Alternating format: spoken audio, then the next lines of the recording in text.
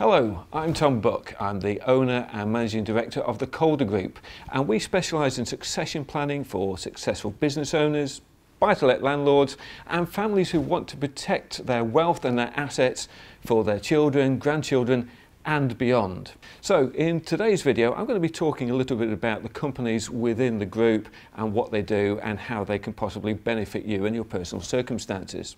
Now the Calder Group itself has a very simple structure and we have a very simple process that we take our clients through to make sure we do get those right results.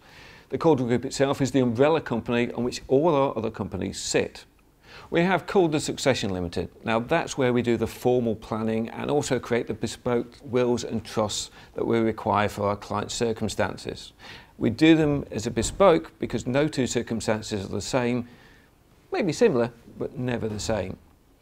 The formal planning, well, we sit down with you, we work out where you are now, we also decide and work on where you want to go, and we'll then put a plan together to make sure that you head in the right direction and your assets get protected in the way that you want them to be.